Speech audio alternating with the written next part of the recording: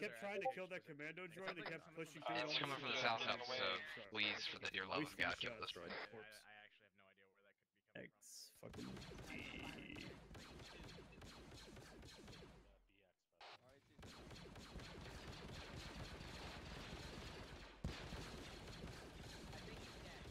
You just recently. I don't, don't think you need that many.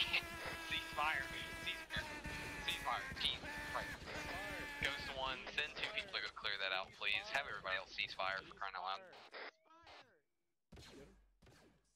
We Fire get me. Stop firing, fools. Hey, Uh, blue I team don't lead the think medic. I, I was about to have an What's up? I, Uh, I'm coming to you to get don't some more think we can drones. get I can't really get it, aim. I'll get it, I got it. Uh, that might be just because you're bad at the game.